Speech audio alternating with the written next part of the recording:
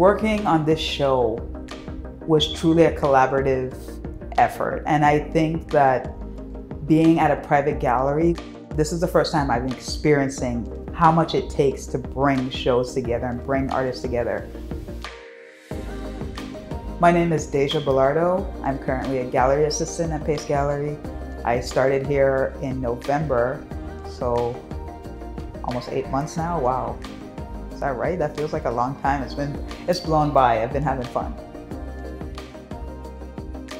The theme of the staff show is called Atmospheres. And what I think was the most interesting for me, we all work at Pace and we all work with Pace artists. We all uh, are influenced by what it means to be surrounded by blue chip artists, blue chip art and the way that we all responded to that word atmospheres took natural groupings that I was very surprised by and yet so diverse because they were so distinct in everyone's own personal experience that it was really refreshing to see what came together in the staff show. We had 76 uh, total artists submit and 100 works. So there were multiple works by some individuals, especially in the case where the works were smaller photographs that really naturally grouped together and really helped the show to be realized in the way it was and flow together. And then, you know, we had larger paintings that really drew you in and sculptures and lots of different variations, installations, um, even NFTs, uh, just a really wide range and really trying to capture the diversity of the art that we're all creating. Oliver came in with the exhibition team and you know, Sarah and the exhibitions team created a mock-up, did some initial placings of the works.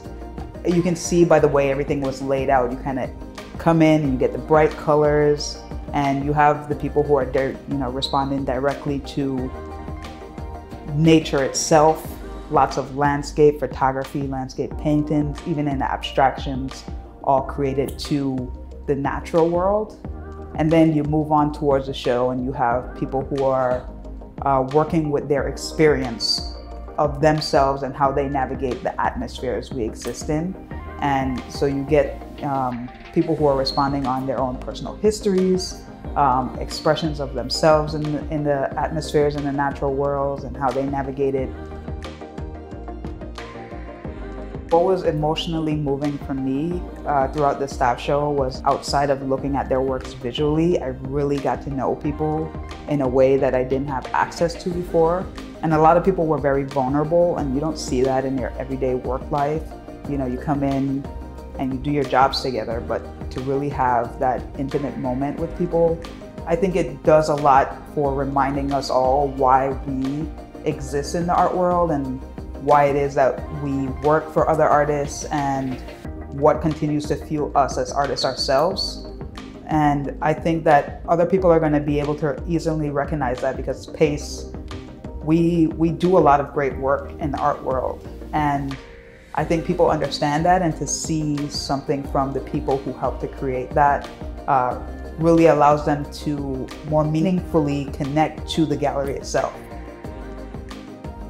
at the end of the day, we have so many people here who are actually interested and invested in the art, invested in what it means for artists to be people first, and actually considering why their art is important to the artists themselves and what it means for the artists to share their work with the general population because art is moving.